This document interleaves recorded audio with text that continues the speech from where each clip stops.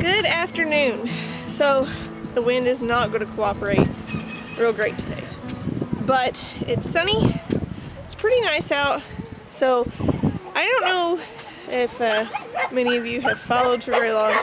I have a garden. It's a west facing garden, which is not an ideal garden, but I was using an unusable space. So to me, that's a good compromise.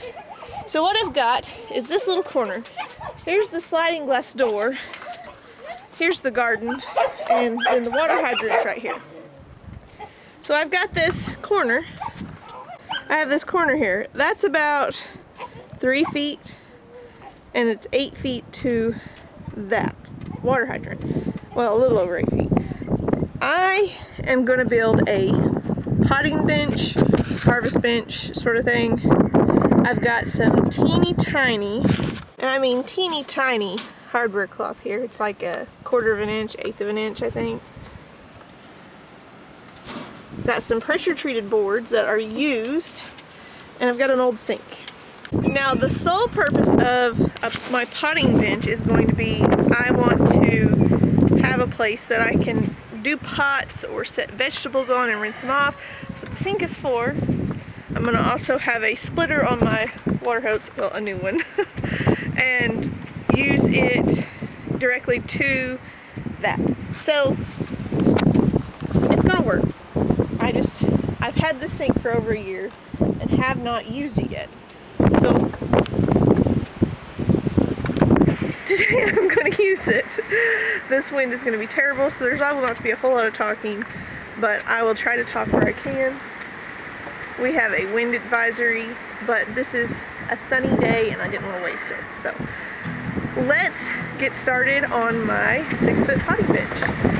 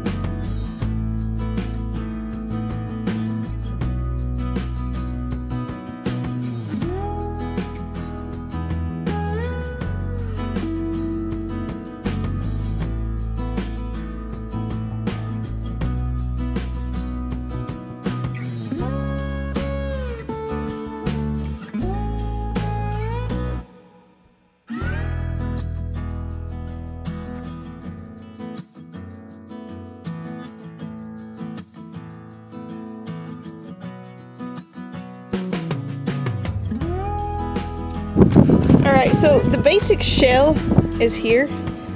I still need to cut a board for the opposite side for the sink. But it is six foot long and I cut these at 20 inches because my wire is 22 inches so it will staple along both sides of that. So, yeah. Sorry, the wind's blowing my shirt.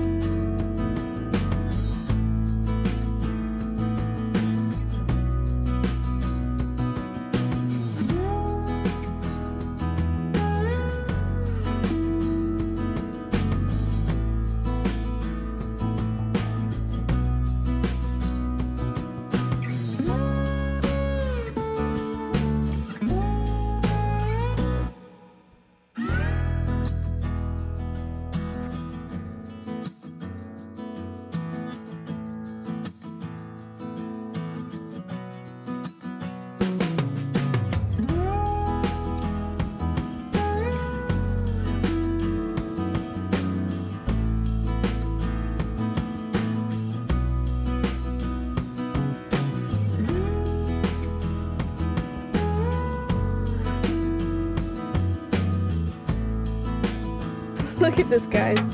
I got it in there good and tight. Yeah, there's gaps. I can fill all this in. Don't worry about that. I thought about cutting plywood at one point in time. I think I'm to take that wire and just make sure all these open spaces is going to have wire underneath them. Like this here and this here. But yeah. And then this side's just going to be wire. I'm to trip and fall in a minute. Looks pretty awesome, Considering I made it with crap material and my legs are not straight. And yeah. I think I might turn this front leg here to match this one.